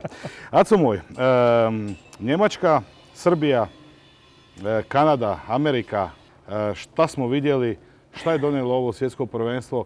U ovo svjetsko prvenstvo e, ja osobno sam krenuo sa jednom željom. A to je da ova američka reprezentacija ne bude zlatna.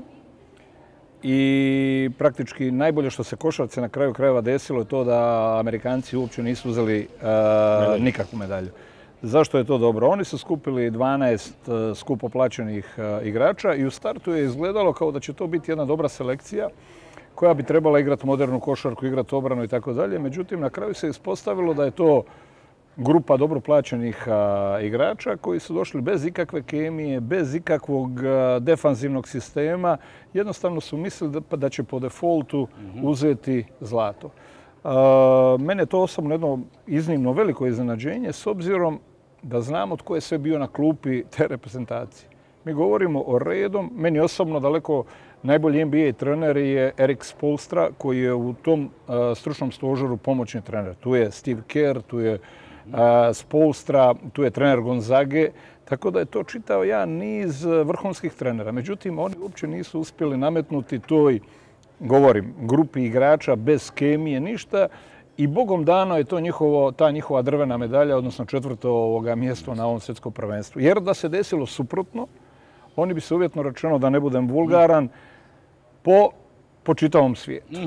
Što se tiče e, druge točke, što se desilo na tom e, svjetskom prvenstvu, pokazalo se kroz par reprezentacija koji su imali jednog ili dvojicu unutar svoje ekipe, uvjetno rečeno superstarova, ali nisu imali dovoljno mesa sa strane, da jednostavno te reprezentacije a, nemaju dovoljno moći da prođu i ostvare ovoga bolje rezultate. Kad kažem sedmo mjesto Slovenije je fantastičan rezultat, da se razumijemo, biti sedmi na svijetu je sjajan. Međutim, to nije to što je Dončić e, želio napraviti sa tom Slovenijom. Znači, druga točka je da sve one reprezentacije koje su imale snagu u jednom ili dva igrača, a ostatak nije bio dovoljno dobar, nisu napravile nikakav ovoga super kvalitetan rezultat. Znači, dolazimo do reprezentacija koje su prije svega imale kemiju. S druge strane imali su protok lopte.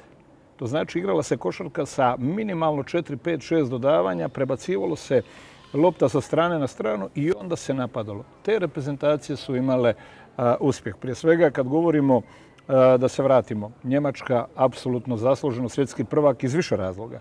Je li ona bila tvoj favorit? E, ne mogu reći da je bila ono da, da, da sam je izolirao na poziciju broj 1, ali da je bila u krugu 3-4 reprezentacije koje će se boriti za medalju, to svakako, ali to nije nešto što je novo. Sjetimo se za Hrvatsku te bolne 21. godine kad je bio predolimpijski turnir u Turnir. Splitu. Mhm. U biti tada je počela a, izgradnja ove reprezentacije. Srbi se nešto ljute, ljutili su se na suđenje, imali uopće e, Ovako, smisla? prva stvar koji, e, koji i Garbahoza kao novi predsjednik FIBA Europe i ovaj šejk, ne znamo, neka oprosti, ne znamo puno ime i prezime, ovoga katarski šejk, oni pod prvo moraju otići i dogovoriti se sa Euroligom da im Euroliga rentira 20 tih svojih najboljih sudaca kako bi na kraju krajeva imali e, i taj segment igre zadovoljavajući. Što Mhm. se desilo?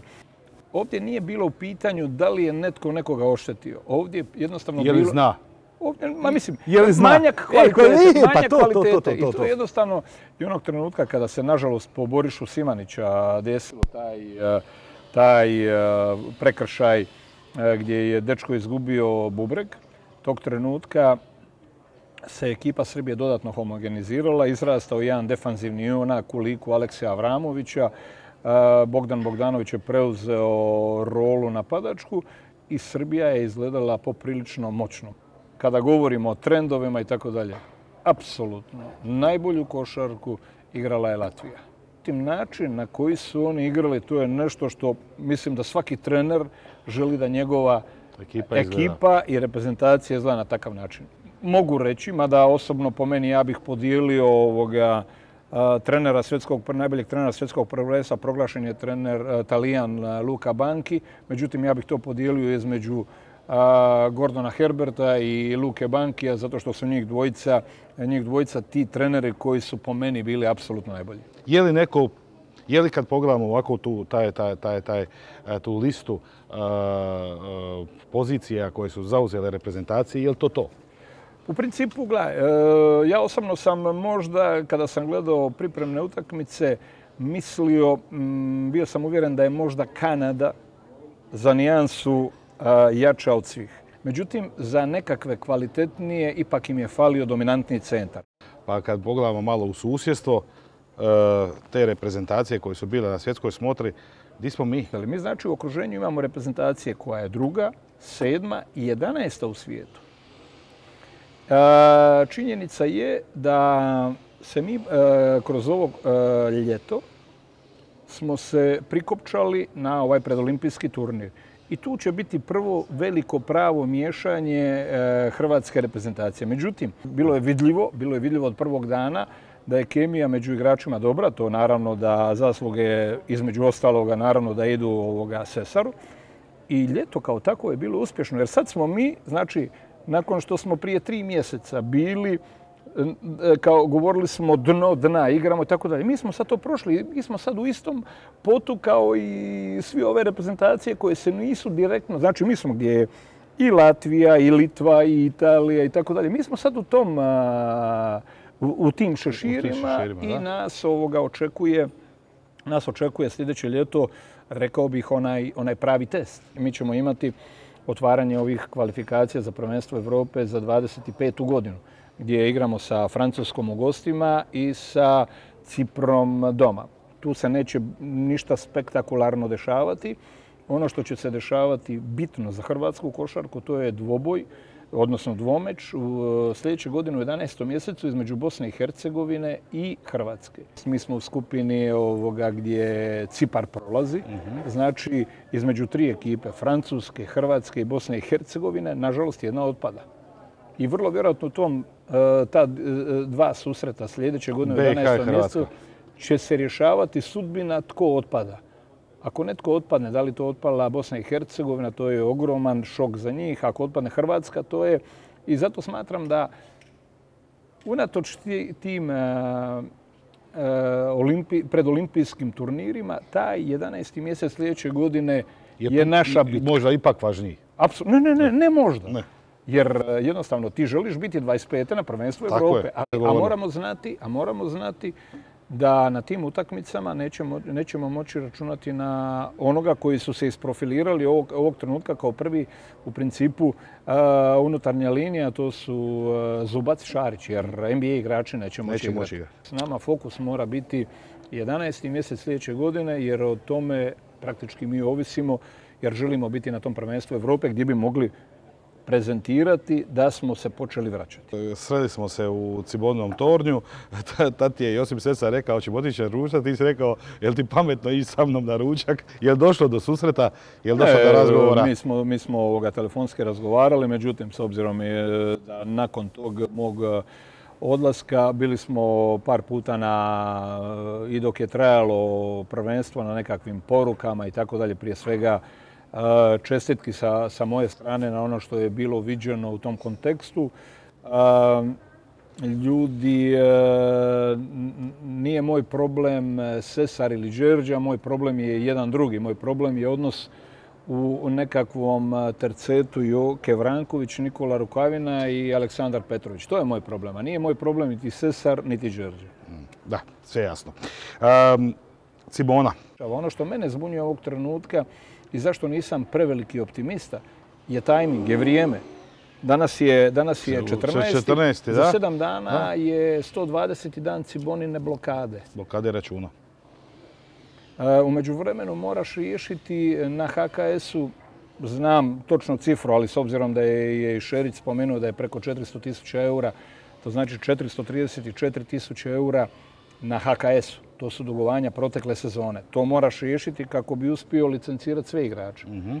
Onda e, da bi mogao normalno funkcionirati moraš riješiti, e, riješiti ovrhe koje su ti na računu. Koliki je tu cifra ne znam, ali uglavnom postoji nešto, znači dugoročno pretvaranje u sportsko dioničko e, društvo je dobra stvar. Mhm. Međutim, mene ovdje brine ovo kratkoročno da li će se uspjeti? Ne. Da li ćeš ti uspjeti kroz ove sile i haribde provući ovoga... Hoće li neka nagazna mina se pojaviti? Bilo bi šteta, jer u krajnjoj liniji, evo, sinoć e, sam gledao Cibonu u finalu turnira u budućnosti u Sarajevu. U Sarajevu e,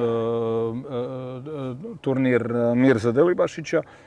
Mislim, tamo ima ponovo, ima, imate jezgor tih 4-5 igrača od prošle godine, govorim Radovčić, Arnitović, mm. Majcunić, Vukov i tako dalje. Stiglo je ovog jedan ili dva interesantna igrača, taj mali Amer Play može biti apsolutno potrebljiv. Ono što mi je najdraže sa aspekta u krajnjoj liniji i hrvatske košarke i tako dalje, mali Tomislav Buljan. Ne znam kako, ne znam zašto.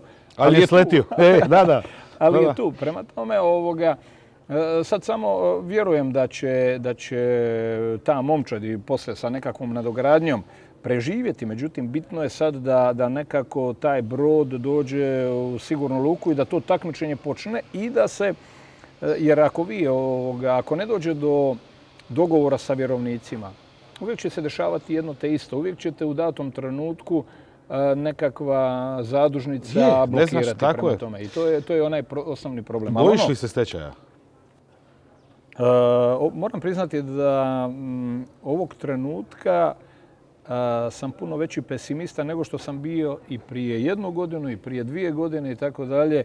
Ko ima po tebi najbolji roster od naših naših zvijezda košarkaških e, klubova, mislim. Zadar je u, biti uvijek košarkaški grad. I za Zadar možemo uvijek reći, bez obzira kakve ima financijske probleme, u Zadru će se uvijek u zadnjem trenutku Nešto pronaći.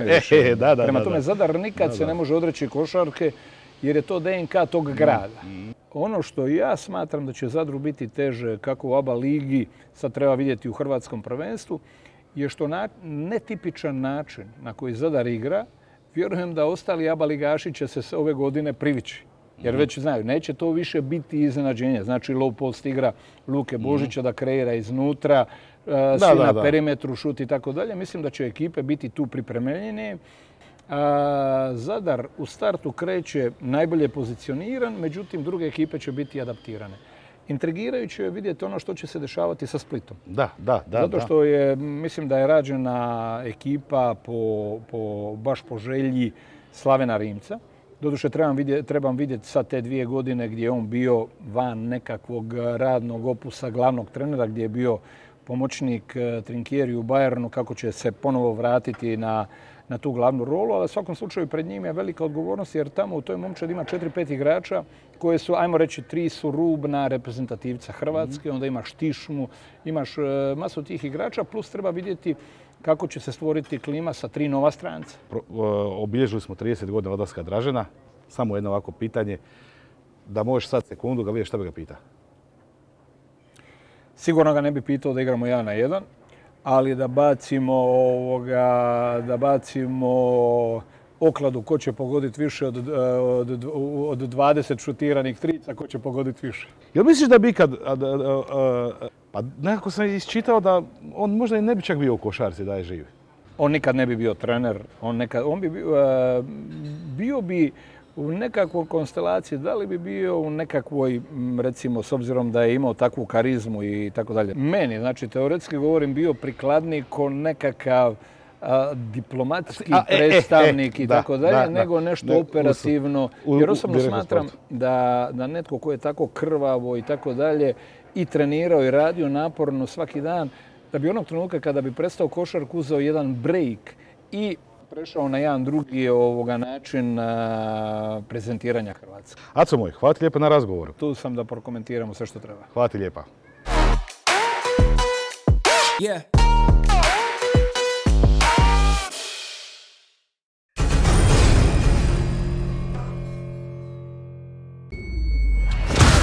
Snaga koja te je dovela ovamo još uvijek je u tebi. Budi najbolji što možeš biti da bi bio pobjednik.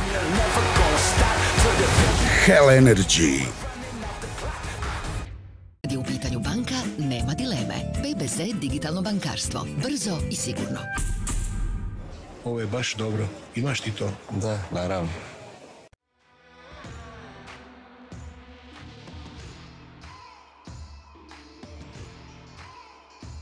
Plemenit, zlato i srebro.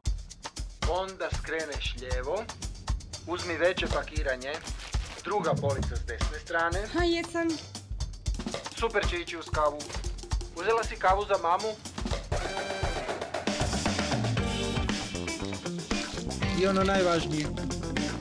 Iskoristite sakupljene bodove i uživajte u posebnim pogodnostima KTC kluba vjernosti.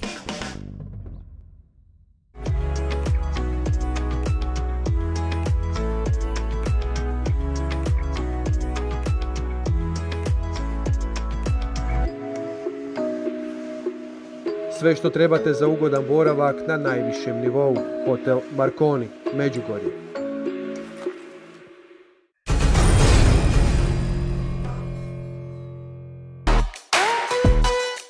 Yeah.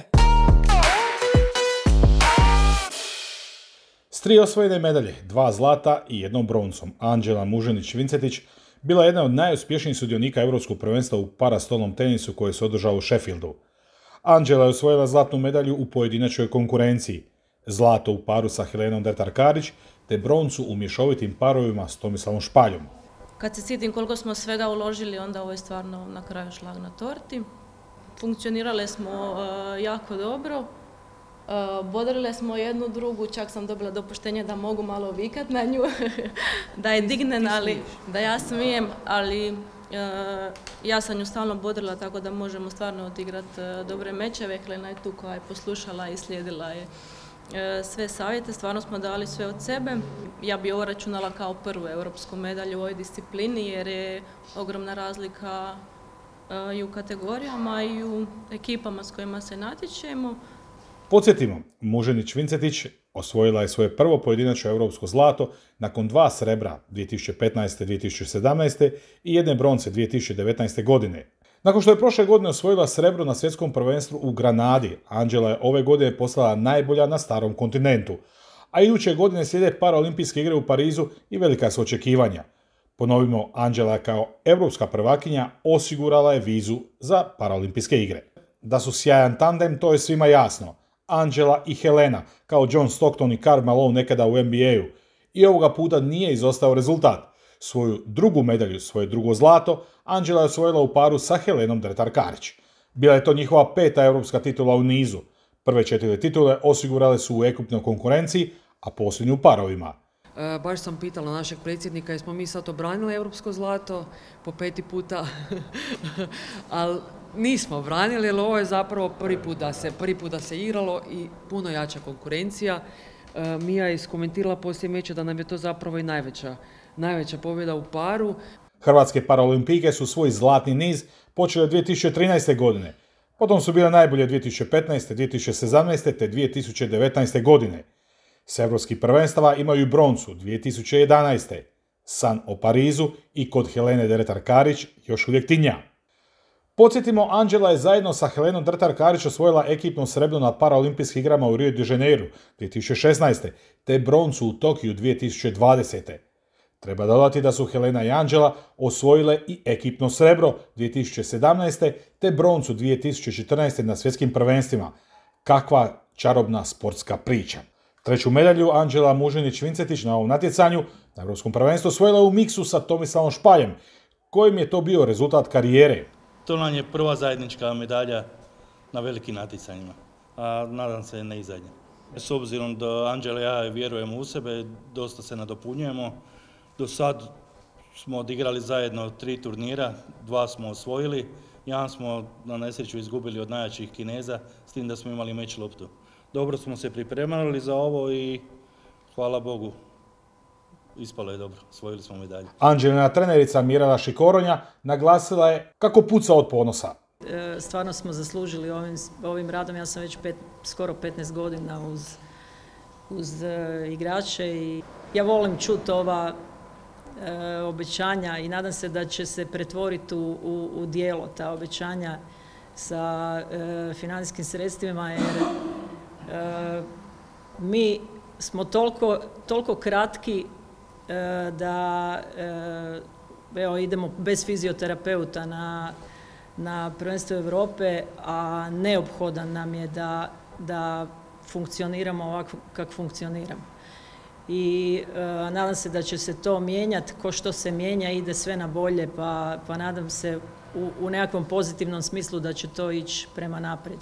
I konačno, predsjednik Hrvatskog paraolimpijskog odbora Ratko Kovačić istaknuo je kako je ovo bio novi veliki uspjeh parastolno-teniske reprezentacije, naglasivši da se ovim uspjehom nastavio kontinuitet dobi rezultata na velikim natjecanjima. Paraolimpijski sport raste iz godine u godinu i to se jako dobro moglo vidjeti upravo na ovom evropskom prvenstvu. Jako je teško doći do vrhunskog rezultata, naglasio je predsjednik HPO, dodavši kako se nada da će Hrvatska iduće godine na Paraolimpijskim igrama u Parizu imati 20 predstavnika.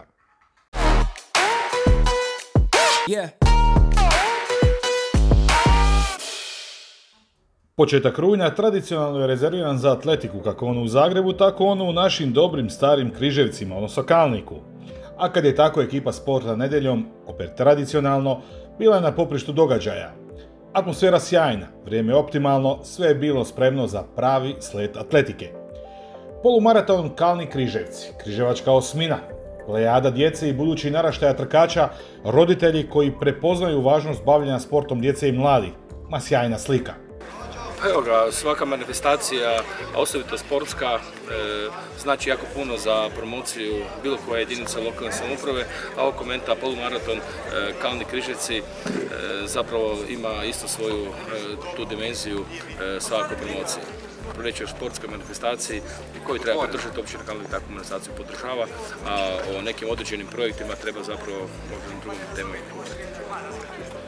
Pa evo, to je jedna naša već tradicionalna sportska manifestacija koje svjedočimo svake godine, istina i u nekim drugim terminima. E, sada ćemo vidjeti da li je ovaj najpogođeniji, obzirom da su se ove vremenske prilike e, vrućine pomaknule malo više prema jeseni, ali uglavnom sam uvjeren da je cjelokupna organizacija na nivou koji zaslužuje takvo jedno sportsko natjecanje i ovog trenutka nas evo čini nekim centrom e, e, sportskih e, aktivnosti malo širih razmjera.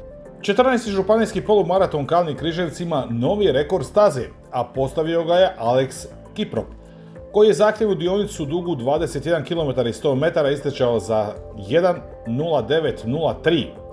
Samo 3 sekunde sporiji bio je Laban Šerju dok je treći u cilju utrčao 9 minuta kasnije Veldon Kiprotić. Yes, I ran a new record today. And I thank Teresa Zadovoljan sa rekordom staze. Bilo je dosta naporno, dosta vruće, ali zadovoljstvo je bilo nastupiti na ovom natjecanju, ovom polumaratonu. Nadam se da se vidimo sljedeće godine. Iza pobjedničko trojica iz Benedikt tima u cilju su utrčale tri žene. Najbrža Ruth Nundul, druga je bila Gladys Bivot i treća Jasmina Ilijaš. that was very hard. Yes. What? Very hot. But Jako zahtjevna staza, iako nisam osjetila toliku vrućinu, jako mi se dopada ovaj oblik trke. Vidimo se svakako ponovno i hvala organizatoru. Od Križevčana je najbrži bio David Sever, u ukupnom poredku deveti, s vremenom 1.29.05, a od Križevčanki Ivana Dubravec koja je ukupno bila 65. u vremenu 2.11.04.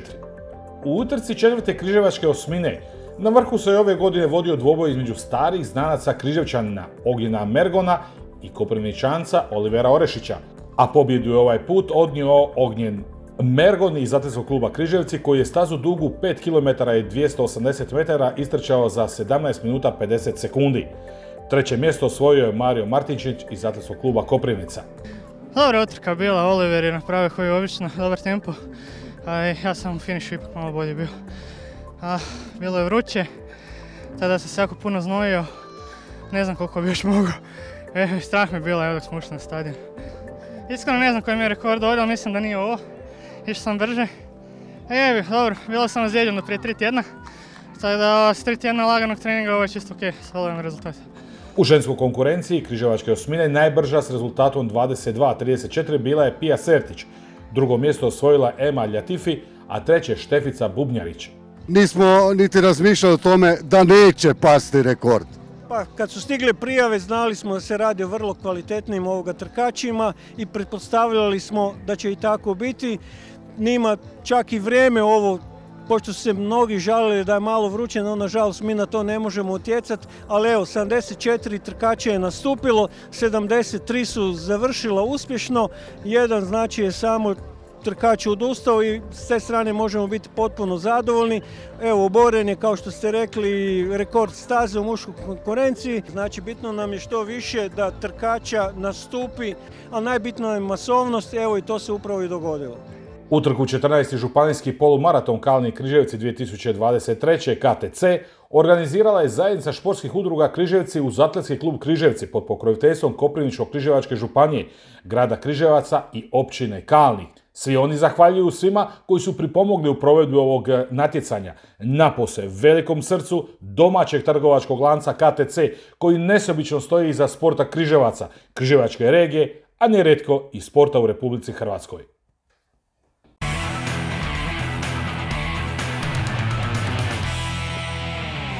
Odigrane su neke od utakmica Super Sport prve nogometne lige. U osmom kolu Lokomotiva je pobjedila Rudeš 1-0. Dinamo je bio bolji od Slaven Belupas 3-0, a u derbiju kola Rijeka bolja od Osijeka. Pet dana nakon svjetskog prvenstva u košarci FIBA je objavila rang listu. Najbolje su i dalje Sjedinje američke države, novi svjetski prvak Njemačka je treća, a Hrvatska se nalazi na 30. mjestu. Rukometaši Zagreba upisali su poraz u prvom kolu skupine A Lige prvaka, bolje je bio njemački Kiel 30-23. A na otvaranju domaćeg prvenstva Našički Nekse bio je bolji od KTCA 37-19, Zagreb je svladao SSVT 36-30. A nakon te utakmice Slavko Goluža i rukometni klub Zagreb sporazumno su raskinuli dosadašnju suradnju. Nakon pobjede u igri parova Dodiga i Pavića, Hrvatska je oblažila poraz od Finske 2-1 i tako završila kao četvrta u susretu drugog kola skupine D grupne faze završnice Davis Kupa na splitskim gripama. A startala je Jadranska liga za vaterpoliste u prvom kolu. Splitski Jadran pobjedio je Primorje 22-12, a Mornar je izgubio kod kuće od mladosti 14-9. Došli do samog kraja emisije, kao što Plazma je sugerirala, 18. godina, 18. sezona, kako god želite. Sporta nedeljom je krenula, s nestrpljenjem ste nas očekivali. E, pratite Sport nedeljom na e, našem YouTube kanalu, na našim platformama, od Max Sporta pa do svih lokalnih TV kuća koji nas prenose, koji su uz nas svih ovih godina, naše TV partnerske kuće kojima hvala a mi ćemo se truditi opravdati povjerenje kako vas gledatelja, tako i e, naših e, televizijskih partnerskih kuća. Za tjedan dana, ako smo osigurali kvalitetan program u ovoj emisiji, a vjerujem da jesmo, u istom energetskom stanju vas očekujemo za tjedan dana, u isto vrijeme, na istom mjestu, u istom vašem, e, na istom vašem omiljenom kanalu, još jači, još potentniji i još, ako hoćete, i luđi. Sport nedjeljom je iza nas ova emisija. Vidimo se za tjedan dana. Do tada zdravi i veseli bili.